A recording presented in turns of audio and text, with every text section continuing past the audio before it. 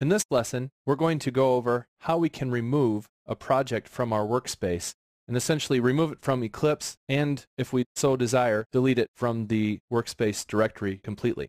So we're going to go ahead and delete everything. And what we'd like to do, though, is make sure that we have a backup of our quick JSON jar so that we don't have to re-download that. So just make sure you make a copy of that and place it somewhere on a drive that you can easily find it, such as your desktop. Now once you've done that, let's go ahead and delete a project. So it's very easy to delete. All we need to do is select the project and select delete. And we'll note that a delete resources dialog pops up that asks us if we want to really do this. And also note that it shows the project location of where this project is currently located and also gives us the ability to delete from the disk. If we delete from the disk, of course, the project will be gone forever. We're going to go ahead and delete this project at this time.